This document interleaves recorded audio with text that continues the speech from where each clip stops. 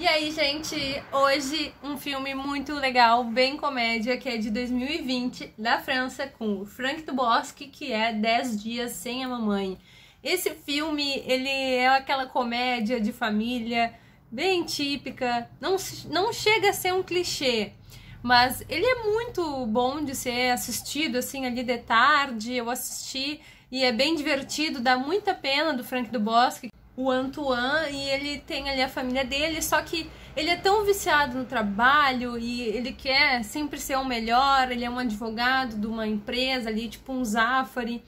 e tem um concorrente, isso aí eu achei engraçado, que é o DiCaprio, que ele é parente, ele é primo do Leonardo DiCaprio, então eles ficam fazendo várias piadinhas e ficam falando sobre isso o filme inteiro.